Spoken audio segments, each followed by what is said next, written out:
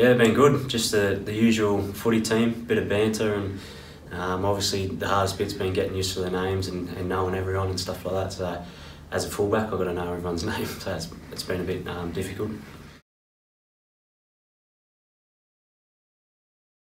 Yeah, it's always hard. Um, obviously, coming into pre-season, um, any pre-season really, but yeah, obviously making the move over here and getting over jet lag and and then um, bringing the kids over as well has always been it's been pretty tough on them. So they've been crook and losing sleep and stuff like that. So it's all a part of it though, and um, you know it's, it's just a part of that journey, and uh, I'm looking forward to um, you know getting into training and everything like that. And it's it's been good, been a good couple of weeks so far.